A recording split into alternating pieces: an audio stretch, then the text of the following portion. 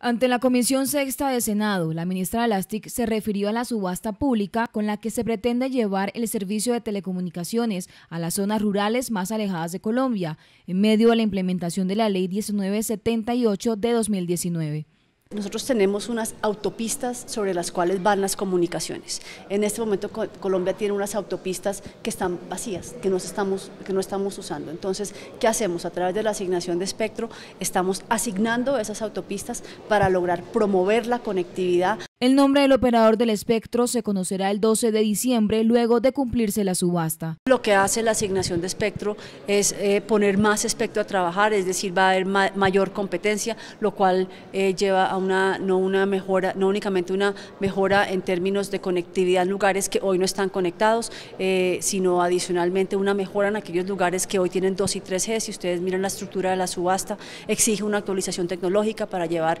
aquellas redes de 2 y 3G a 4G Em, y eh, adicionalmente entre más competencia, pues claramente mejor servicio, mayor cobertura y precios más eh, asequibles. Senadores de la Comisión Sexta esperan que con el cumplimiento de la Ley de Modernización del Sector de las Tecnologías y las Comunicaciones se les permita a millones de colombianos acceder por primera vez a Internet y mejorar su calidad de vida. La conformación de la nueva Comisión de Regulación de Comunicaciones eh, va avanzando, va viento en popa, poco a poco se han venido eh, conformando estas nuevas salas, así que esperamos que realmente mediante esta nueva herramienta que es la ley TIC podamos llegar a diferentes zonas del país que hoy en día no están conectadas. No me parece justo que en las ciudades capitales todo el mundo tenga su facilidad para, para conectarse, pero que en las regiones no. Entonces con esto queremos llegar a todas las regiones, a todos los rincones de Colombia y eso nos genera para más trabajo, para más comercio, más aprendizaje, porque no es justo de que a veces en algunos municipios alejados